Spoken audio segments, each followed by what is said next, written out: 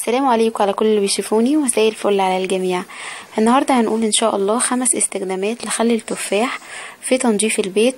استخدامات أنت أول مرة تسمعي عنها وهتفيدك كتير كتير جدا لأن هو زيه زي الخل العادي ويمكن أكتر شوية شوية شوية في التنظيف وفي الفاعلية.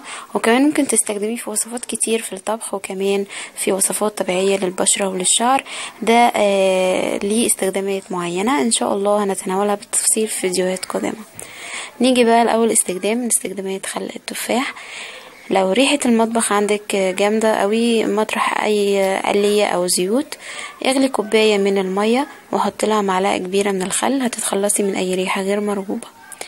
تاني استخدام عشان تتخلصي من النمل اللي موجود في أي حتة من البيت رش شوية بس من خل التفاح المخفف بالمية في الأماكن بتاعة تواجد النمل. الإستخدام التالت لو عندك أي حلة ألمونيوم فيها زرقان أو مسودة تجيبي شوية مية وتغلي فيها برضو شوية من خل التفاح. بعد ما تغلي المية غلوة والتانية غطيها لمدة شوية ربع ساعة كده واطفي النار عليها طبعا في الربع ساعة دي بعد كده اغسليها. هتلاقي الزرقان ده راح بكل سهولة. رابع استخدام تنظيف البلوعات والمصارف. إزاي؟ هتجيبي نص كوباية ملح ونص كوباية بيكربونات وهتكبيها جوه البلوع. وبعد كده هتروحي كب عليها نص كوباية من خل التفاح. تاني نص كوباية ملح ونص كوباية بيكربونات هحطها جوه البلاعة بتاعتي دي واللي هي المسدودة يعني أو اللي أنا محتاجة أنضفها. وأحط بعد كده نص كوباية من الخل. عادي خالص هتلاقي كده في غازات طالعة عادي ده شيء طبيعي خالص زي الخلطات اللي إحنا متعودين نعملها بالكربونات والخل العادي.